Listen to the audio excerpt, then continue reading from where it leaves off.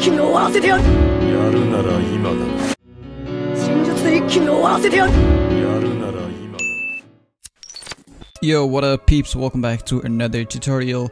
Today we are going to be doing a text animation. I already did a video. This is more like a text animation and subtitle type of text, I guess. I don't know. But this one is more like kind of advanced, but it is going to be pretty simple to follow along. So this is the clip that I'm gonna work with. I'm actually going to put the, the subtitle right here. Let me play the video. Yeah, so when he starts talking, and I'm also gonna put a subtitle right here.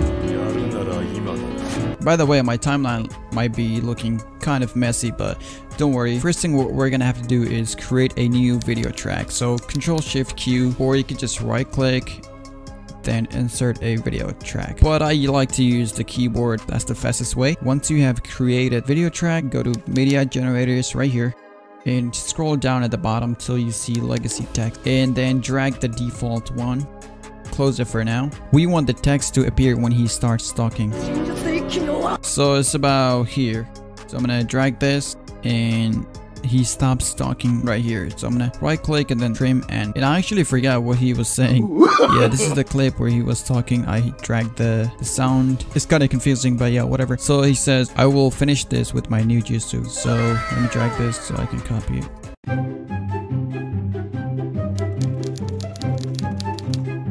Boring. So once you have entered your text, make sure to customize it because right now the way it is looking right now is kind of I'm gonna change the size to about 14 and I'm going to uncheck this. Now I'm gonna change the font to something that I like. Maybe this one. Yeah, I think this one looks pretty cool. Make sure to save your project by clicking Control S. Now I'm gonna go to placement and I want the text to be at the bottom, like around right here. So I'm gonna go to placement again, text placement where it says free form. I'll click on this bottom center.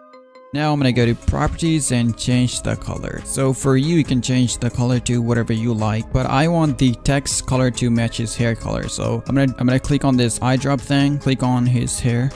Now you can see that the colors are matching. Now you could go to effects. If you want to add some shadow, you can. It is totally up to you, but yeah, it's pretty simple. Just play around with these settings right here till you get the results that you want. But I'm not gonna add shadow right now. Once you're done, close it, play the video, and see how it looks. Yeah, so what I'm gonna do right now is add some fading, so just like this. And at the end, I'm gonna add some fading as well. I'm gonna pre-render this real quick. Click Shift B to pre-render. Now, the way it is looking right now kind of looks okay, but we're gonna add some shake. So go to video effects, scroll down till you see S_Shake. And of course, you'll need Sapphire plugin to get this shake. I'm gonna drag the default one to the text and I'm going to lower everything, okay. basically frequency and amplitude. I'm probably gonna change to like 200. Yeah, as of right now, the text is looking better and better. Now, what we're gonna do is we're gonna mask this, and you want to come to the first keyframe. Make sure you have this locked, and you want to stay on the the mask layer, not the position. So click on this check mark. What I'm gonna do is I'm gonna actually create a rectangle. So just click on this, and I'm gonna drag. I'm gonna do it like this. I'm going to add some feather. Now I'm going to animate this.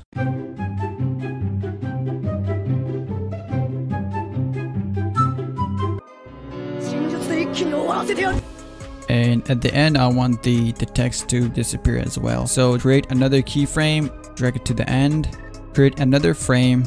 You could just click this one right here. And I'm gonna move the this thing right here to the end and drag this.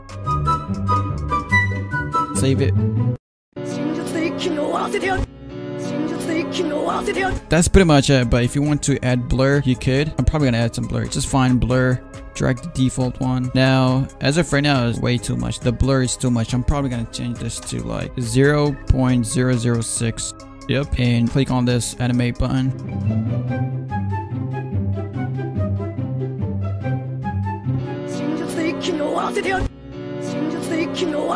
This is it for the first clip and now let's work on the second one.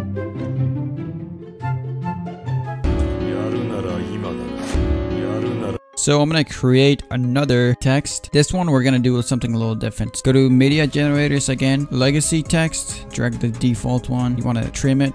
He starts talking from about here. Click on this generated media, change the text. Now this is my chance. Change the size. I'm going to change the, the font.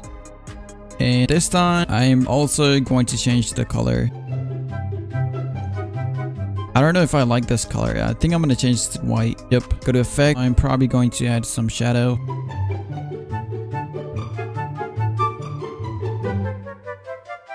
This time we're gonna do something a little different. We're gonna animate this right here. So go to properties and where's this tracking? Drag this tracking thing to all the way to the left side. So zero. Now animate it. And this part could be a little hard, but just follow along. I'm gonna go like this.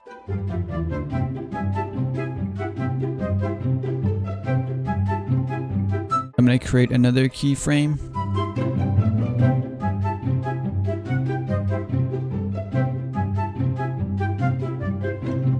And for the last keyframe, probably gonna do it like this. Let's see how this looks. Uh, in my opinion, the keyframe is kind of messed up. Like over here is kind of slow, so I'm gonna drag this to like right here. I'm gonna do the fading again at the end as well. I am going to add some shake. That's the same thing as before, but this time we did a lot different ways. So drag the default, change all the settings, only the frequency and amplitude. Save.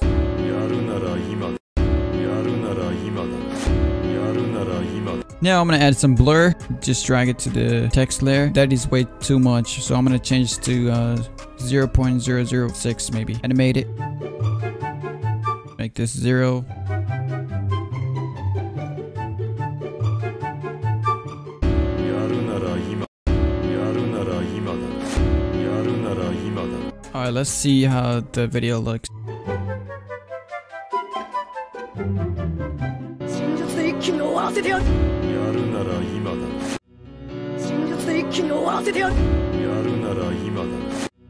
Alright guys, that is it for today's video. If you guys liked it, leave a like, comment below, subscribe. And if you need help, please join the Discord server, link below. We got about 1500 people over there. So if you have any question, you can ask. And I'm gonna see you guys later.